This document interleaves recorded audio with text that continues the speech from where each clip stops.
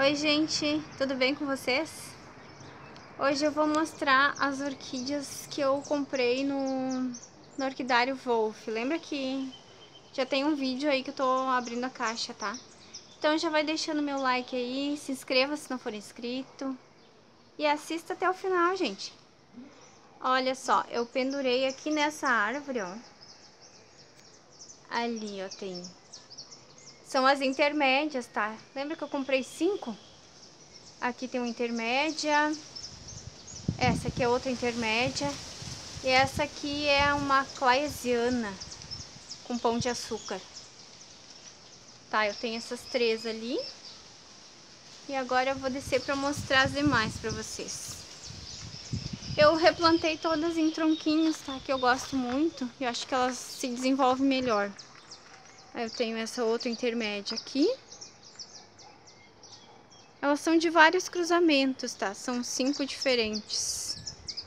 Eu já coloquei porta-adubos ali. Eu tenho essa linda aqui, ó. Ela veio com... Ah, elas vieram algumas com flores, mas...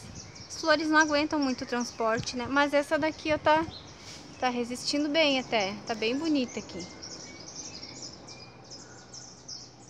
Essa daqui, deixa eu ver qual que é. Essa é a intermédia orlata for, formato trilabelo.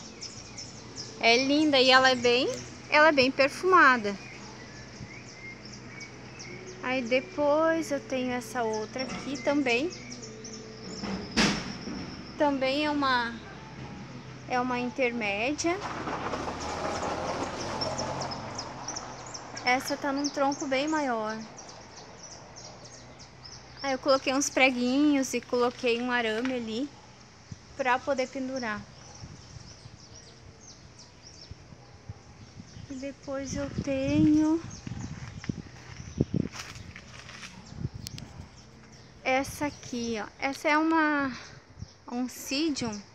Ela é uma uma cor assim meio laranja, bem bonita. Essa tá um pouco judiadinha, ó. Ela veio meio sem raízes, ela veio no potinho, né? Tava um pouquinho molhada. Mas elas depois se desenvolvem bem, né? Então, é muito difícil um sídio morrer. Ainda mais na madeirinha, né? Logo se desenvolve. Essa também eu coloquei uma... Olha ali, uma trouxinha de adubo.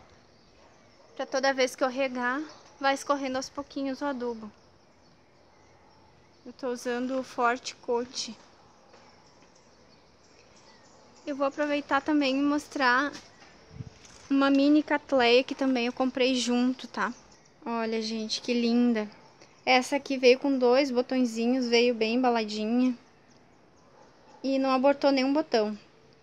Ela é muito delicada. Ela é um vermelho, assim, bem escuro. E tem um labelinho lá dentro, meio amarelinho, ó.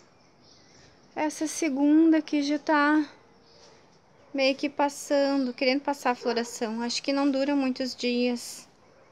Se não me engano, é no máximo 20 dias que dura. Mas ela tá com vegetal bem bonito.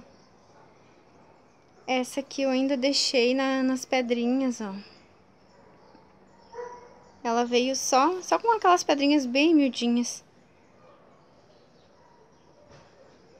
Aí não precisa me preocupar muito se vai ficar encharcada, porque se fosse esfagno ou outro substrato, daí eu teria que ter trocado. Mas acho que mais adiante eu vou colocar ela num tronquinho também. Ou num vasinho de barro. Ou se ela ficar bem aí, vier novas brotações, eu deixo ela aí mesmo. Eu vou aproveitar para mostrar um pouco aqui do meu cantinho, ó, gente, para vocês verem. Ela tem umas Phalaenopsis mudinhas ali na janela. Aqueles saquinhos brancos é tudo é adubo. Eu tenho as fal em cima da mesa. A fal no coquinho. Tem algumas nos potinhos de plástico também. E aí tem aquelas brancas lá, muito lindas, ó. Então tá, gente. Muito obrigada por terem assistido até aqui. Um beijo, fiquem com Deus e até!